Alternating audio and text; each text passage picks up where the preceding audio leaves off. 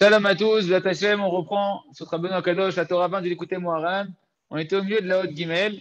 On va faire un petit, euh, un petit résumé rapide de ce qu'on a vu un peu hier. On a dit qu'il y avait une grande différence entre. Donc, on est dans, la.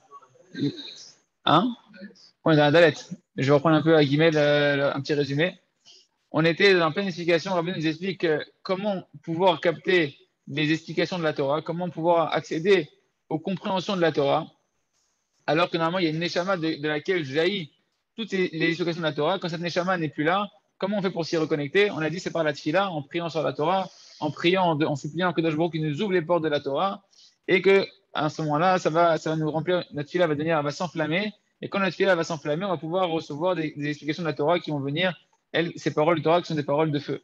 Et Rabbi nous avait dit qu'il y a une grande différence entre un homme qui étudie, qui va étudier la Torah seul, ou quand il va étudier pour le public, parce que lorsqu'il va étudier pour le public, qui va, enseigner la Torah en réalité, et eh bien à ce moment-là, quand il va prier pour la Torah, il va s'attacher à toutes les neshamot qui sont autour de lui, qui sont, qui sont censés écouter sa Torah. On pourrait même dire qu'il va s'attacher à toutes les neshamot qui pensent qu'ils vont finir par écouter sa Torah, parce que je me rappelle une fois, le Rav je l'avais dit, vous croyez que la Torah que je vous donne, là, c'est pour vous, dans son shiur, dans un shiur que j'écoutais moi dans un CD. La preuve, c'était pas que c'était pas que pour les gens qui écoutaient le jour même le shiur du Rav.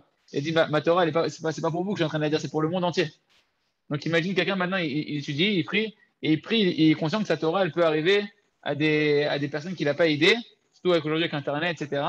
À ce moment-là, hein, plus tu vas t'attacher à des personnes, et plus cette fille-là va monter, elle va donner un achat elle va augmenter de la gdusha dans les mondes, dans les mondes d'en haut, dans, dans, dans, la shrina, et plus en réalité, ça va engendrer dans le cœur céleste, où il y a toute la Torah là-bas, que ça va, ça va attendrir le cœur céleste, si on peut dire ainsi, et ça fait que ça va faire jaillir encore plus d'explications, notamment que chacun il doit entendre des explications qui sont adaptées à lui.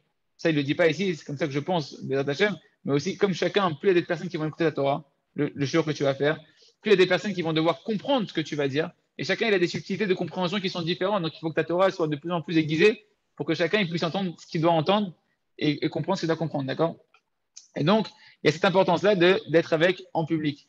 Et ce n'est pas du tout la même chose que quelqu'un qui va être seul. Surtout qu'on a vu la Gemara qui nous dit que euh, la tfila du public, la tfila du tzibour, elle n'est jamais, est jamais repoussée par Hachem. D'où l'importance de prier en communauté quand on prie tous ensemble, ça donne un plaisir à Kadosh Baruch qu'on est, on est nombreux à louer Hachem. Et donc ta prière individuelle, elle monte avec la prière du, du.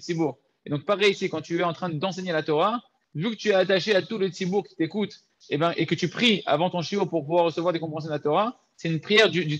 Et donc à ce moment-là, c'est sûr que tu vas recevoir des, explications qui vont jaillir. Tandis que quand tu étudies tout seul devant ton livre, et eh ben, c'est pas du tout évident que tu vas recevoir ces explications. Ta tfila, peut être dédaignée par Hachem à un certain moment et tu peux ne pas avoir les explications qui s'ouvrent à toi à ce moment-là. D'accord? Qu'est-ce qu'on avait vu encore euh, hier? On avait vu l'importance, on s'est arrêté sur la, deuxième dimension, c'était la dimension que, donc quand je vais voir un chacham, déjà quand, donc quand moi du coup je vais écouter maintenant la Torah, l'importance d'aller voir, d'aller se déplacer pour écouter la Torah d'un tzaddik et pas simplement de lire dans son propre livre, ça va changer quoi? C'est que quand tu vas te déplacer chez le tzaddik ou chez le chacham ou la personne qui est en train d'enseigner, eh bien, tu vas avoir une part dans l'explication que lui va dire, parce que l'explication qu'il va recevoir, c'est grâce à, toi, au fait que lié, que quand il a prié à Kadosh Baruch toi, tu fais partie de cette prière-là, tu es associé à cette prière-là, et ça va lui donner des explications dans lesquelles toi, tu as une part. Donc forcément, tu vas, être tu, vas bénéficier de compréhension toi aussi de la Torah qui vont te parler, puisqu'il y a une part d'explication qui, qui t'appartient à toi, qui va neshama à toi. Deuxième chose que tu gagnes quand tu vas voir un chacham, que tu vas voir le tzaddik ou le chacham qui est en train de faire la Torah, c'est que lui, par le bien qu'il a à l'intérieur de lui, le travail qu'il fait de ces Maasim Tovim, ça va avoir un impact sur toi, que ça va faire tomber le mal qui est autour de toi.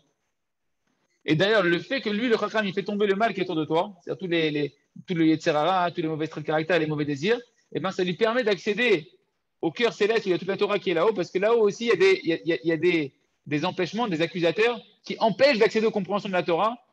Tout ce qu'on ne comprend pas la Torah, c'est parce qu'en haut, il y a des accusations par rapport à nos fautes.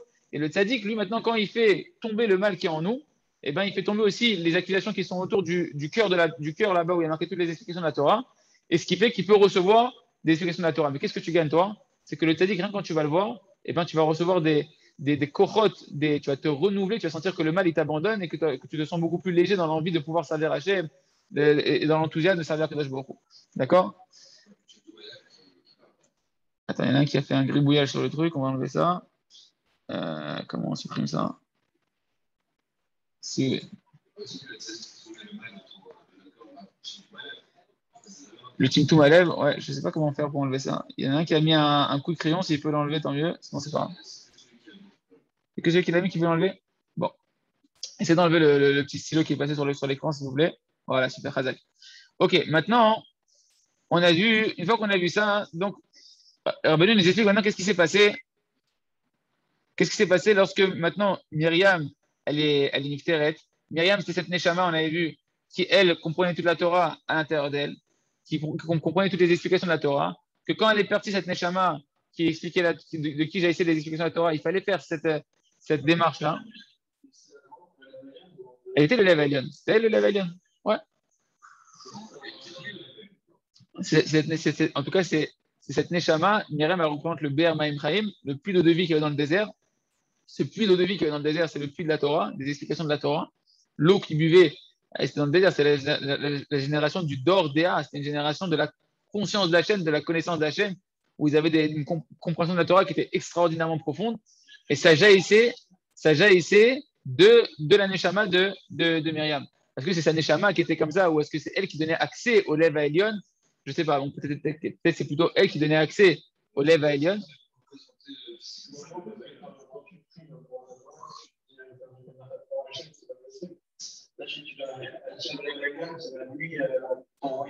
Ah, mais quand tu, quand tu donnes une Achatro Hachem, quand on élève à Elion, le cœur d'en haut, c'est le cœur d'Hachem, C'est le cœur d'Akadosh Borou. Tu vas sensibiliser le cœur d'Akadosh Borou nous, tout notre travail, c'est que la Torah, elle rentre dans le cœur.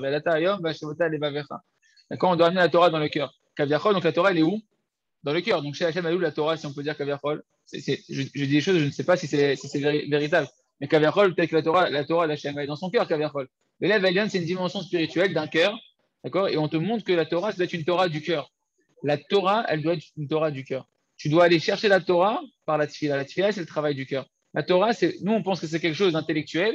Et Rabbi est en train de te dire, pour accéder aux compréhensions intellectuelles de la Torah, il faut d'abord que tu travailles le cœur, de prier à Kadosh Baruch Hu, de demander à Kadosh Baruch Hu, de valoriser, de sentir le besoin que tu veux connaître Hachem, connaître la Torah. Et à ce moment-là, tu donnes du nachatoire à Kadosh Baruch Hu, tu donnes du plaisir, dans le cœur, dans le cœur d'en haut. C'est une notion kabbalistique que je ne connais pas. Et, et, et, et, à ce moment-là, le cœur, il s'ouvre à toi, Kaviachol, il, il t'ouvre son cœur à Kadosh Baruch il t'ouvre son cœur, en, tout cas au niveau spirituel, il y a une ouverture du cœur d'en haut. Et là, la Torah, elle peut jaillir et elle peut, elle peut s'ouvrir à toi. Ok. Maintenant, ce qui était important pour nous, c'est qu'on a dit que quand on va voir le Chacham, eh ben, à ce moment-là, lui, ça il va pouvoir faire rejaillir de nouveau la Torah pour nous. Et c'est ce qui s'est passé avec Myriam. Voilà, on s'est arrêté là à peu près hier. On a dit que quand l'eau a arrêté de couler, qu'est-ce qui s'est passé? Rabbi Nachman nous avait expliqué ce qui s'est passé dans la Torah. Le peuple d'Israël, il a commencé à se rebeller. Pourquoi? Parce qu'il n'y avait plus d'eau, il n'y avait plus d'eau à boire. Qu'est-ce qu'il a dit à Hachem? Il a dit prends ton bâton, rassemble le peuple, rassemble le peuple avec ton bâton, et tu vas parler au rocher, et le rocher va faire jaillir de l'eau. Et Moshe, il a pris son bâton, il a rassemblé le peuple, et il a tapé le rocher. Ok? Et là, Rabbi nous explique les Bechinat Mate, Shama Akadosh Baruchu, les Moshe, Karet Matecha, Veakel et. C'est ça que, que, que, donc on reprend dans les mots, les amis. C'est ça que. Oui, Israël, tu veux dire quelque chose le début du, là, ici, le début du paragraphe? Là, là, là, si tu suis sur l'écran sur ou sur le livre? Non, je suis sur mon livre. Le début du paragraphe, c'est la, c'est la haute dalet. La haute dalet. Et c'est, c'est dans la deuxième ah, colonne. Vezéou chilouk. Vezéou chilouk, on est dedans exactement. Ah. Et on est dans Bechinat Maté. Donc Bechinat Maté, c'est ça la dimension du bâton de Moshe, que Moshe, il avait son bâton et que Hachem lui a dit prends ton bâton pour rassembler le peuple. Shamar Akadosh Baruch Moshe, Akadosh Baruch a dit à Moshe Karet Matecha, Vakel et prends ton bâton et rassemble la communauté. Donc le Rav me dit Yesh le Aïr, Shilman, Rabbeinu Evi Pasuk Acher, Shem Neymar, Akel et Ta'am. Là j'ai les commentaires du Rav Rouge. Au-dessus, Rabbeinu il avait ramené le, un, verset qui ressemble, mais qui n'est pas le même, qui n'est pas du tout au même endroit, qui est Akel et Ta'am, rassemble le peuple. C'était dans la, dans la mitzvah de Akel, la mitzvah du rassemblement. Et il me dit il y a une différence. Yesh Evdel Ben Psukim. Rabbeinu a ramené deux, deux psukim différents qui se ressemblent. Un, c'est Ve'akel et Ta'am, qui n'est pas avec Moshe Rabbeinu dans l'histoire du rocher. C'est une autre mitzvah que quand Moshe et Yoshua, ils ont fait la passation du, de, de, de, de, pouvoir, entre guillemets, de celui qui va diriger le Ham Israël, avant que Moshe s'en va, Hachem donne la mitzvah de Akel, de, rassemblement du peuple. Et là-bas, Rabbeinu, il avait ramené ce verset-là, Akel et Ta'an. Et ici, il ramène un verset qui ressemble par rapport à l'histoire du rocher, qui est Akel et Ta'eda, rassemble l'assemblée. Là-bas, c'était rassemble le peuple. Et le Rav je dis, il y, a, une différence à faire. C'est Rabbeinu, il a ramené ces deux versets-là avec des mots différents, c'est qu'il y, a une différence dans les psukim. Là-bas, à quel âme rassemble le peuple C'était pour te dire que la tfila du rabbin, quand tu pries, tu as prié avec tout le peuple devant toi, Moshe Rabbeinu, ou bien le tzaddik, peu importe quel tzaddik, et eh bien à ce moment-là, tu vas avoir une toélette, un bénéfice terrible pour les compréhensions de la Torah que tu vas recevoir. Parce que la tfila du public, elle n'est pas refusée. Tandis que là, quand Akadosh Baruch il a dit à Moshe Rabbeinu, rassemble la communauté avec ton bâton, c'était pour faire tomber le mal, le mal qu'il y avait dans la communauté, en particulier la, la, la, comment la, la, communauté est en train de se rebeller contre Moshe, elle est en train de se plaindre, elle est dans la, elle est dans, dans, la racine du mal qui est la plainte contre Akadosh Baruch Et là, Akadosh Baruch dit à Moshe, prends ton bâton, rassemble la communauté pour faire tomber le mal. Avec le bien qui est en toi, tu vas faire tomber le mal qui est encore en eux. De faire tomber le mal en réalité de ceux qui vont écouter ta Torah maintenant. Akadosh Baruch Hu Moshe de prendre le bâton, il devait prendre le bâton et parler au rocher. Mais c'est vrai que la vigne, il m'a amar le Moshe daber el asela, az leshema yal tzar le maté. Si Hachem il a dit à Moshe parle au rocher, pourquoi tu dans le bâton? Pourquoi il lui dit prends le bâton? C'est ça que Rabban nous expliquer ici, la notion du bâton. Pourquoi tu dans du bâton? Nous on dit c'est normal que Moshe tape avec le bâton. Hachem il a dit prends le bâton, pour taper. Oui, mais il a dit prends le bâton aussi. Pourquoi prendre le bâton? Pour parler au rocher C'est la question. Ah oui, parce que là, là, on, est en train de faire, on est en train de faire le diouk. C'est-à-dire que, a priori, tu dis, je comprends pas, à quoi il sert de prendre le bâton? Pour rassembler, tu vas quoi Tu vas rassemblez-vous, rassemblez-vous. Ce qui va expliquer à Benoît qu'il y a un lien avec le bâton, justement, comme tu, comme, tu es en train de dire. Alors, justement, le bâton, il me dit, Rabbeinu ici, c'est l'Achnia et Tara, Shesh Bashomim.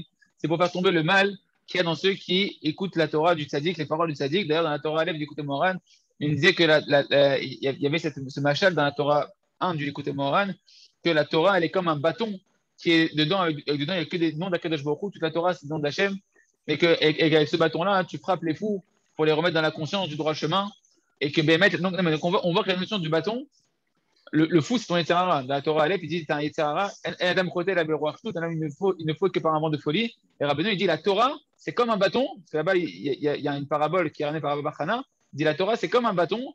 Et ce, bâton-là, il sert à quoi? À taper le fou qui est en toi. C'est qui le fou qui est en toi? C'est les Sahara pour le remettre le droit chemin. D'accord? Donc la notion de bâton, on voit que c'est encore une deuxième fois qu'Abonné l'utilise ici, comme, comme, une notion de faire tomber le mal. Pourquoi tu mets un coup de bâton? Pourquoi, pourquoi, pourquoi, à l'époque, quand ils éduquaient et que le, bonhomme n'écoutait pas à l'école, il prenait une règle, tac, il tape sur la main pour le, pour le remettre sur le droit chemin Pourquoi les bergers, ils ont un bâton, etc. La brebis, elle s'égare, tac, ils le remettent sur le droit chemin, ils mettent un petit coup de bâton, etc. D'accord? Et eh ben c'est la même chose. Il a dit prends le bâton, pas pour taper le rocher. Prends le bâton pour faire tomber en réalité, c'est la notion de toi, tu as le pouvoir Moshe que tu es cool au top, tu es droit comme un bâton, d'accord? Parce que, rappelez-vous, le bâton de Moshe, qu'est-ce qu'il a fait Moshe Qu'est-ce qu'il a fait Hachem? Avec Moshe Rabbeinu, quand, il s'est volé à lui pour diriger le Israël, il lui a dit Qu'est-ce que c'est dans un, bâton Il a dit Jette-le par terre, il s'est transformé en serpent. Et après, il a dit il, a eu peur, Moshe, il l'a repris par la queue et il est redevenu un bâton. Donc tu vois que le bâton, ça va être un serpent. C'est quoi? C'est que Moshe, lui, il n'était pas comme un serpent. Moshe était coulo yachar, coulo droit avec Hachem, il est complètement tov. Et c'est ça la force du tzaddik. Et celui qui va être doresh, il doit être dans une dimension où il se nettoie et, se rectifie pour que quand il va parler aux autres, quand il va parler aux autres, le serpent qui est encore entre eux, qui est à l'intérieur d'eux, Kaviachol, donc le serpent, c'est toutes les forces du mal, tout le, le tout le mal qui est autour de leur eh ben, il va, le faire, le se redresser, Kaviachol comme un bâton, c'est la force du, bâton de Moshe Kaviachol.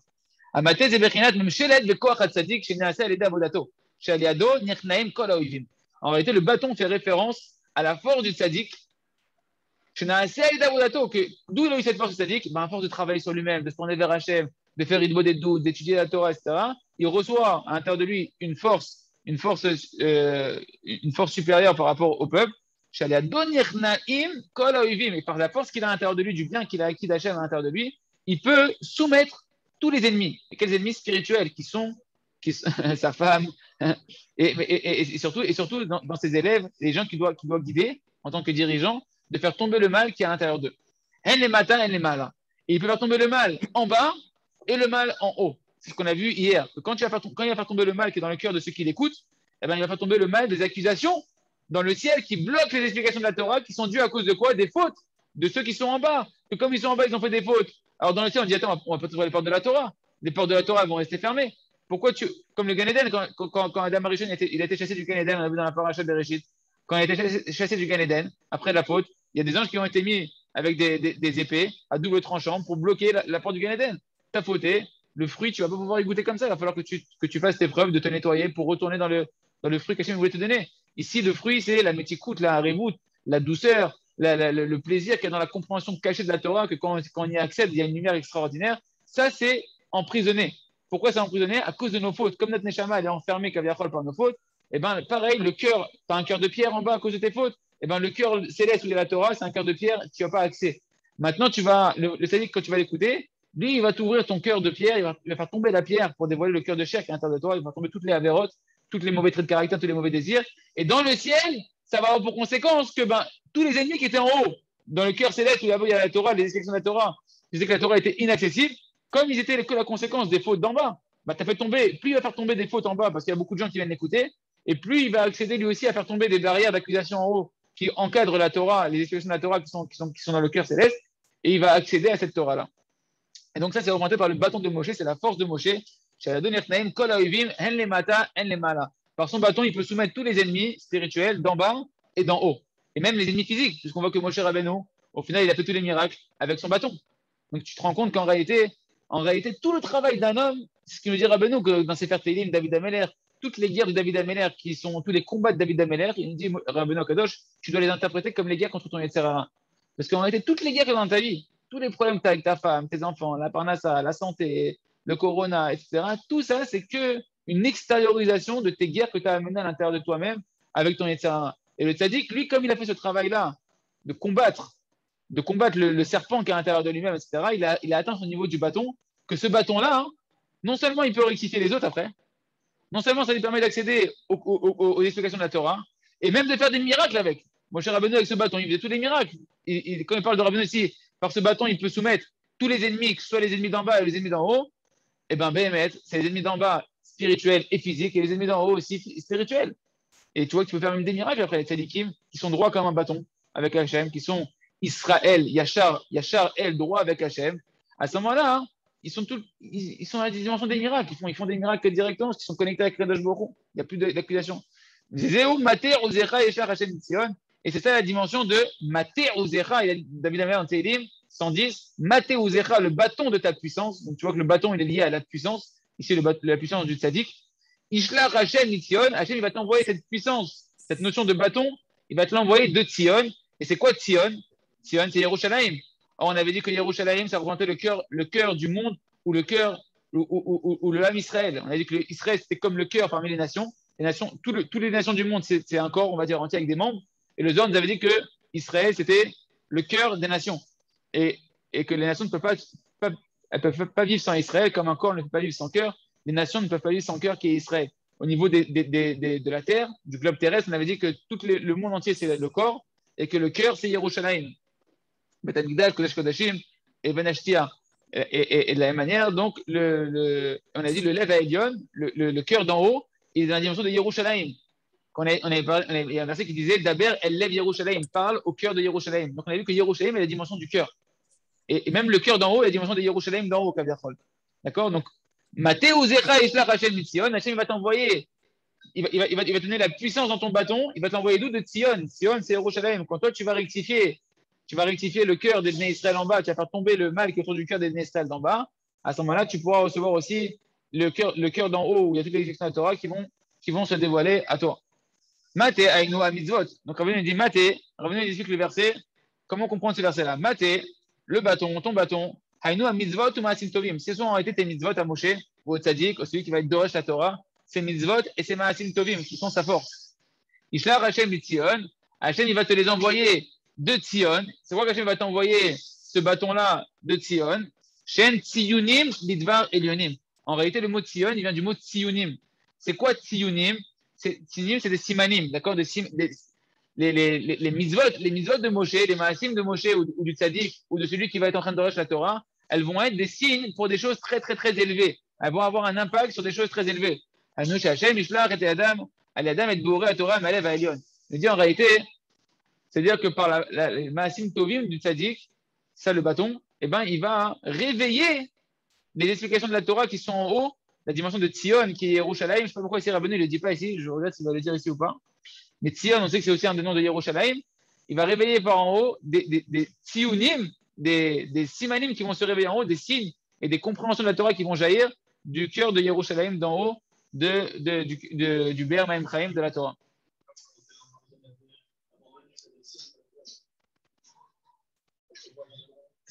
D'accord? Et donc ce bâton, cette puissance qu'il a Moshe, c'est fait par ses bonnes actions. Euh, les amis, Israël, Kilan, Shalom, si vous avez des explications, Yermiaou, des, questions, des, explications, n'hésitez pas à intervenir. Oivim, et donc c'est les Maasim Tovim de Moshe qui lui permettent de, soumettre les ennemis, et donc le, le de chacun. Donc ça c'est le bâton. Bekerev Oivecha. Et c'est ça le sens du verset Rede Bekerev Oivecha. C'est quoi Rede Bekerev Oivecha Il nous dit ici dans Rede Leshon Koar Beachna. Rede, c'est un, langage de force et de soumission, comme on voit d'ailleurs dans, dans Urdu Bidgatayam, dans Bereshit. C'est marqué vous allez dominer sur les poissons de la mer.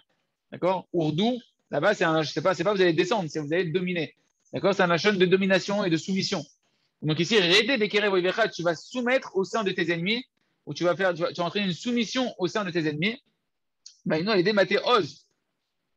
Atzadik.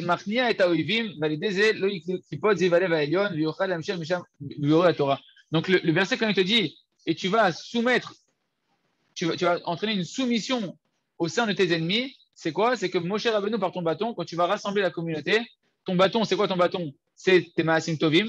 Tes Tovim vont te donner la force de faire tomber toutes les clipotes qui sont autour du cœur des Israël qui vont être devant toi. Ça va faire tomber tu vas faire tomber, tu vas soumettre le mal qui est au sein de la communauté. En faisant soumettre le mal qui est au sein de la communauté, par les bonnes actions qui sont en toi, tu vas faire soumettre le mal ou les accusations qui sont en haut, dans le cœur d'en haut, qui empêchent les explications de la Torah de jaillir. Et comme ça, tu vas pouvoir recevoir des explications et comme ça, tu vas pouvoir guider l'âme Israël par une Torah qui va encore plus les rectifier, qui va encore plus les guider, qui va encore plus leur, leur, ramener dans le Ber Chaim, dans le puits de vie, de pouvoir s'abreuver des eaux de la Torah et calmer leur soif qu'ils ont à l'intérieur de Israël. Est-ce que c'est clair? Je ne sais pas si c'est clair. Si vous avez des questions, n'hésitez pas. C'est clair. Bon, Ilan, j'avais une petite idée. Dis, dis. Ilan, tu, m'entends? Mm-hmm. Allô? Non, j'avais une petite, juste une petite idée, je voulais la partager avec toi sur le, sur le serpent le serpent, il est comparé aux forces du mal, etc. Donc, en réalité, ton Yetzirah, il est là pour te donner du. Si jamais tu arrives à, le battre, il est là pour te donner du mérite. Bien sûr. Si jamais tu n'arrives pas à le battre, donc c'est un serpent, il, va, il, est dangereux, il est dangereux pour toi, il peut te mordre. Mais si tu arrives à le battre, il va devenir un bâton. Un bâton, tu t'appuies dessus. Tu t'appuies dessus. Un bâton, c'est une aide. Donc en réalité, le Yetzera, tu peux le prendre de deux manières. Soit ça devient ton, meilleur allié parce que c'est lui qui te donne du mérite, soit ça devient un serpent pour toi. Exactement. Et c'est pour ça, et c'est pour ça que tu vois bien que, et c'est ce que tu dis, ça complète ce qu'on disait tout à l'heure. Il disait que le Yetzera, tu peux voir de deux bâtons. Tu peux voir, tu peux voir comme un ennemi ou tu peux voir comme un allié en fonction de comment tu, tu, tu approches ton Yetzera. Si tu t'en sers pour te corriger, etc., ça va devenir un allié, ça va devenir un soutien pour toi. Et c'est ce qu'on a dit. C'est-à-dire que le même bâton de Moshe qui était un serpent, quand il se rectifie et qu'il devient un bâton, il redevient un bâton, il fait des miracles avec après. Ça devient toute ta force, ça, devient la puissance de Moshe. et pareil, chacun d'entre nous. Ton Yetzerara, ton c'est lui qui est, qui lui qui est le décapsuleur de la puissance qui se met à l'intérieur de toi. C'est le décapsuleur, il est là, mais il est Tov Meod. Et voilà que c'était très bien. Dans, dans Bereshit, c'est quoi très bien? La seule fois où il y a marqué Tov Meod, Rachid dit tout de suite, c'est qu'il a été créé le Yetzerara. Et que le Yetzerara, il est, il est très bien parce que c'est lui qui, le, le trait, c'est quoi le trait?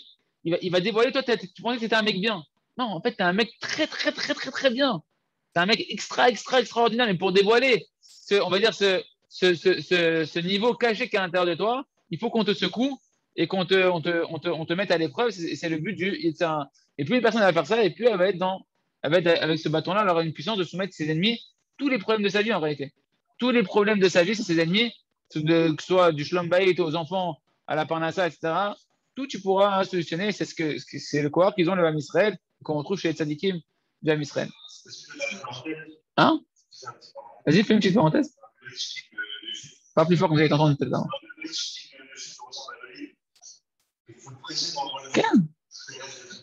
Il faudrait que tu nous répètes, là, on n'a pas entendu. Ah, il a dit que le rabbi Lubavitch, il a dit que euh, le, le juif le ressemble à, à, à l'olive.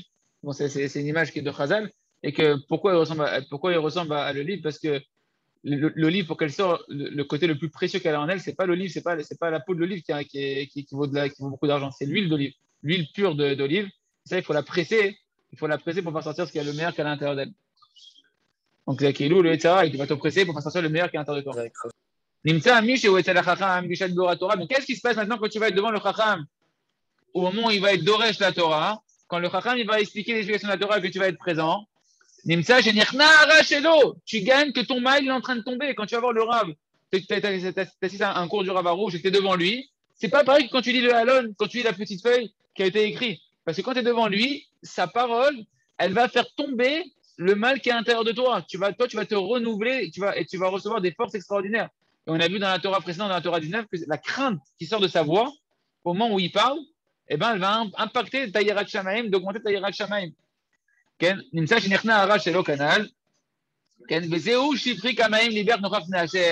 c'est ça le sens de la, fameuse chanson que tout le monde chante, Shifri Kamaim, Hashem. Déverse ton cœur comme de l'eau en face d'Hachem en prière. Pourquoi déverse comme de l'eau? Pourquoi déverse ton cœur comme de l'eau?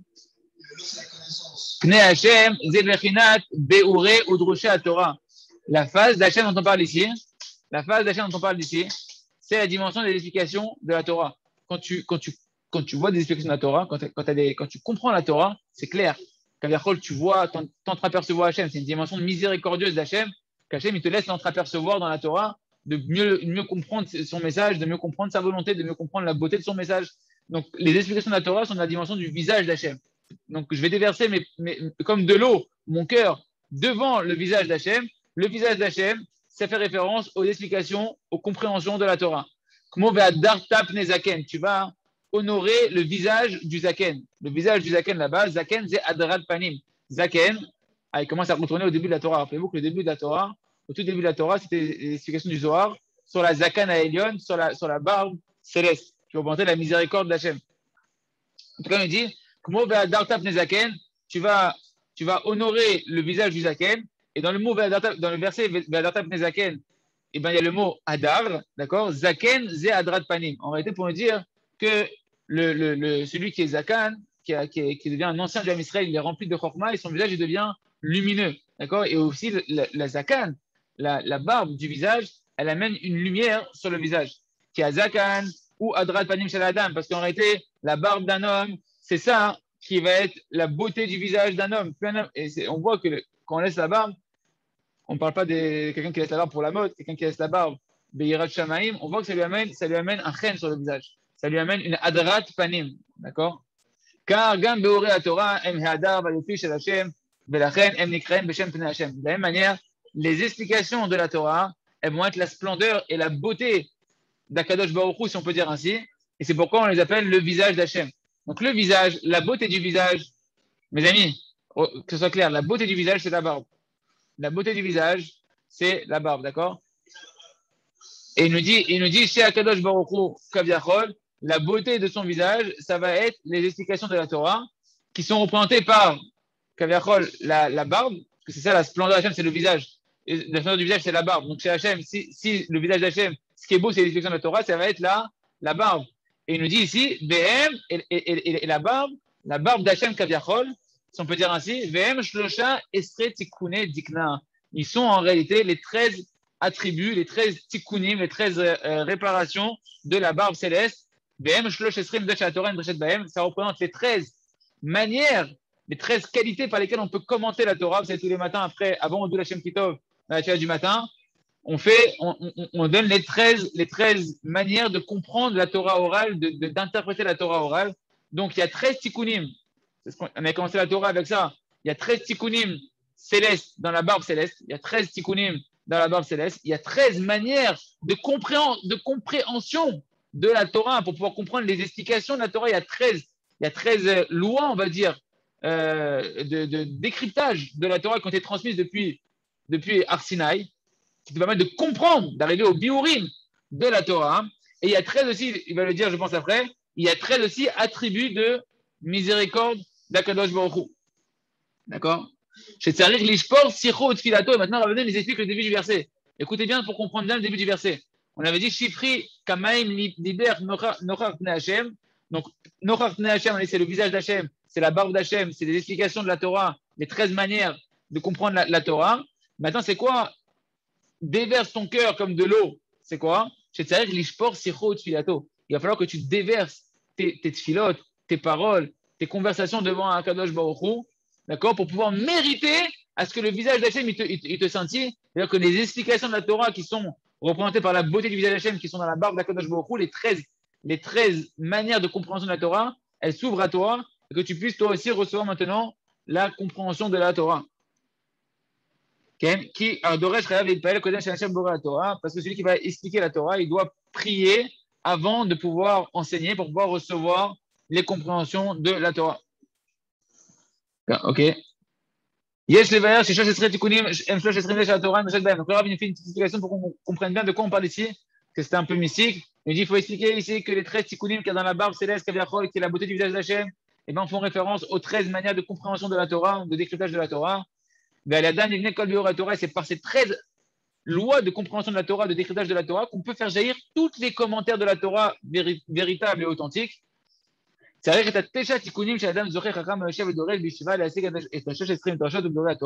dit, mais pour maintenant mériter d'avoir ces 13, ces 13 manières de compréhension de la Torah, de maîtriser ces 13 euh, clés de décryptage de la Torah, eh ben, il faut qu'il y ait les 9 tikkunim qui sont le début de notre Torah. Nous, là-bas, on avait dit qu'il y avait des 9 tikkunim qui étaient. on avait dit que la barbe céleste avait transmise euh, euh, euh, ça a été transmis, neuf tikkunim, karim, neuf réparations précieuses dans la barre céleste.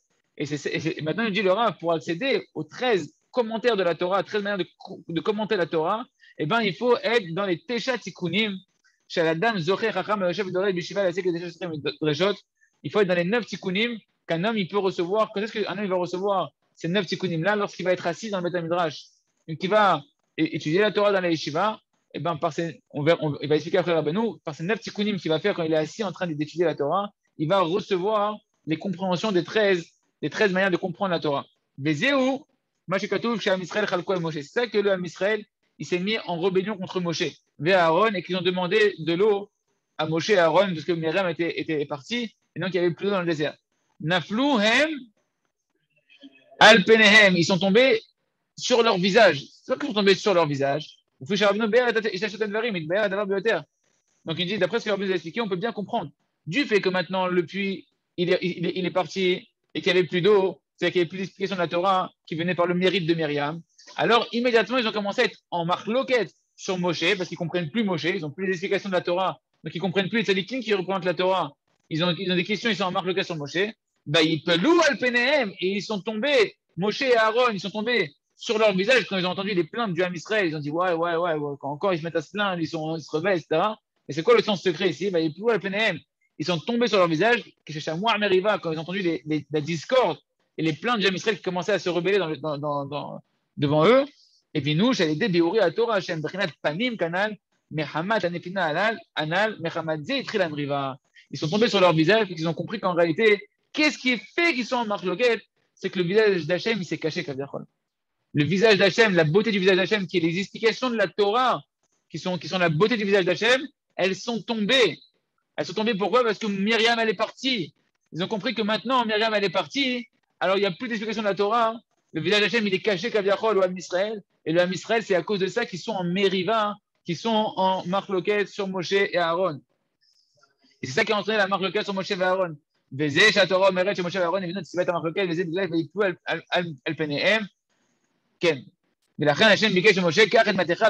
c'est pour ça que Hachem il a dit à Moshe prends ton bâton et rassemble la communauté. Ou que la Torah, en réalité, ici, Hachem demande à Moshe de leur réapprendre les explications de la Torah, comment faire rejaillir les explications de la Torah pour ramener le shalom et retirer la marloquette. Et automatiquement, les marloquettes, quand ils auront des compréhensions qui vont venir dans leur tête, ils ne seront plus en marloquette, ils ne seront plus en discord parce que les choses vont devenir claires et limpides. Donc, on, finit avec ça. Qu'est-ce qu'on apprend d'ici jusque-là? Qu'en réalité, le bâton, en, réalité, c'est lui, il représente la force de celui qui est en train d'être Doresh la Torah, qui est en train d'expliquer la Torah, de faire tomber le mal qu'il y a dans ceux qui l'écoutent, qui écoutent la Torah.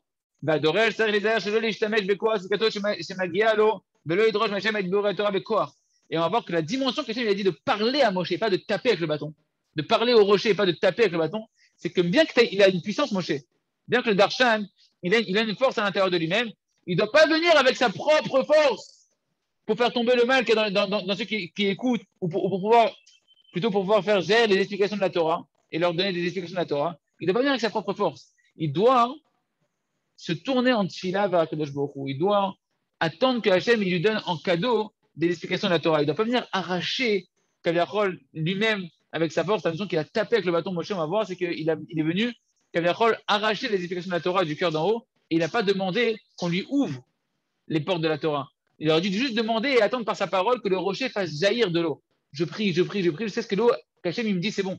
La Torah, elle s'ouvre à toi, tu peux commenter la Torah, tu peux comprendre la Torah. Moshe, est venu avec sa force, avec ses Maasim Tovim, il a dit, Kelou, j'ai des Maasim Tovim, je suis méritant, je peux prendre des, compréhensions de la Torah et je peux être Doresh. Kaviachol, c'est un peu cette subtilité-là qui s'est passée à l'intérieur de Moshe à ce moment-là, où il, a, manqué de lucidité, que cette Torah-là, il aurait dû la recevoir aussi Rak et non pas parce qu'il est méritant par rapport à ses propres actions. Et là, là il Kato, Rak il aurait dû utiliser la force qu'il a à l'intérieur de lui-même, Moshe, uniquement pour faire tomber le mal cacher les autres, mais pas pour aller prendre les, explications de la Torah. Et Rabbeinu va expliquer ça dans la, dans, la, haute Merci Hachem, demain on verra ça. Merci Hachem. Tu veux dire quoi?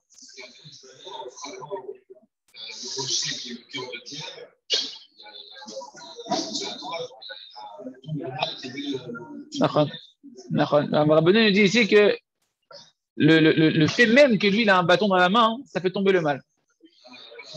Ouais, et pas besoin de taper. Ça fait tomber le mal.